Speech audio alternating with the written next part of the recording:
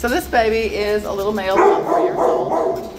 Came in on 8-7. Hi, Grover.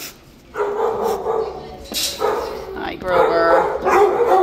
Um, I know he just went outside a few minutes ago. Saw him going through the kennels. He looks like he pulls the slight out on the leash. He was, he was going through the kennels quickly. Grover is, uh, oh, you couldn't get it? Grover is located at Animal Care Services in San Antonio, Texas.